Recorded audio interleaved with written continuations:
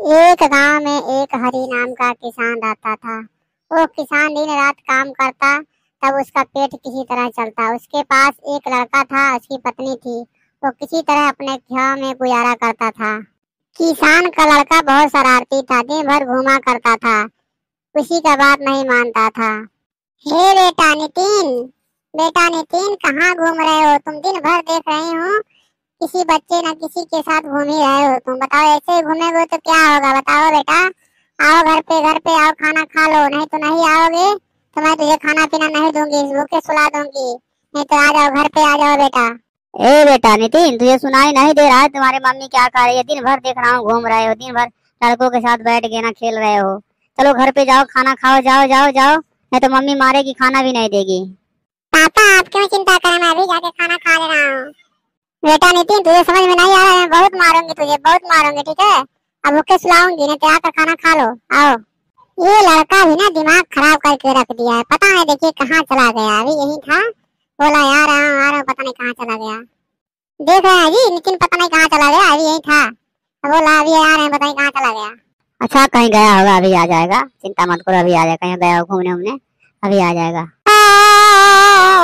एक दिन नितिन की माँ काम कर रही होती है, तभी अचानक उसका तार एक बिजली से टकरा जाती है। उसको बिजली लग जाती है और वहीं पर वो मर जाती है। अरे नितिन की मम्मी, तुझको क्या हो गया नितिन की मम्मी? क्या हो गया? कैसे लाइन मार दिया तुझको नितिन की मम्मी? मैं क्या करूँ अबे भगवान? क्या करूँ ये भगवान? कहाँ जाऊँ ये भगवान? नितिन की मम्मी, कुछ बोल क्यों ना रही हो? बोलो बोलो, नितिन की मम्मी, बोलो, उठो उठो। पापा पापा मम्मी को क्या हो गया? पापा मम्मी को क्या हो गया? मम्मी क्यों नहीं बोल रही है? पापा मम्मी क्यों नहीं बोल रही है? बेटा तुम्हारी मम्मी को लाइन मार दिया है। उसको करंट लग गया इसीलिए वो नहीं बोल रही है बेटा। मम्मी उठो उठो मम्मी उठो मम्मी मम्मी उठो उठो। देखिए दखनाई काकी मेरी मम्मी नहीं बोल रही है। पता नहीं क्यों बोल नहीं रही मम्मी। उनको मम्मी को बोलना है माँ काकी बुलाइए काकी। ए दखनाई काकी बुलाइए मम्मी को। मत रो बेटा, मत रो मत रो बेटा, मत रो।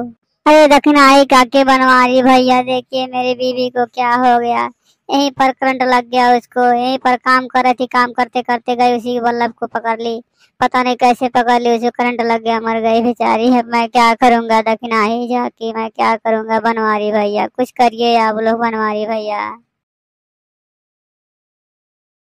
फिर कुछ दिन बीत जाने के बाद नितिन का पापा दूसरी शादी कर लेते हैं और अपना गुजारा बसारा करने लगते हैं। मगर नितिन हमेशा उदास रहता था हमेशा रोता रहता था। इधर उधर भटकता रहता है नितिन।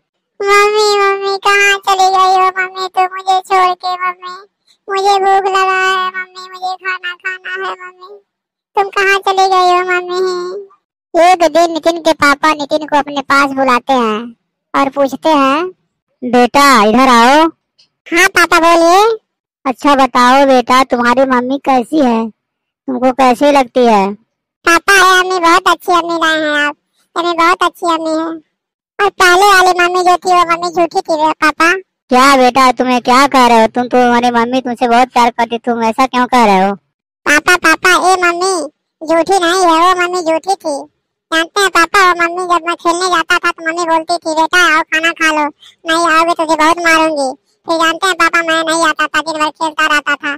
फिर मम्मी शाम को आती थी, बुलाती थी, मुझे पकड़ के लगे आती थी और अपने हाथों से खाना खिलाती थी। इसलिए मम्मी झूठी थी, झूठ बोलती थी, फिर भी खाना खिलाती थी।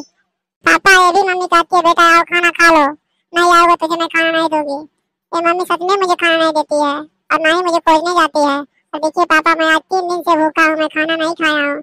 ये मम्मी जो कहती है, वो करती है। मगर वो मम्मी झूठी थी, पापा। अरे बेटा, तुम क्या कह रहे हो बेटा? क्यों नहीं खाना देती है मम्मी? तुझे खाना देगी बेटा? तुझे खाना देगी मम्मी बेटा? तुम बेटे को खाना क्यों नहीं देती हो? बेटे को खाना दिया करो। देख रहे हो, बेटे का दिल टूट गया है। कैसा कैसा बात कर रहा है? तुम बेटे को ध्यान दिया करो, ठीक है?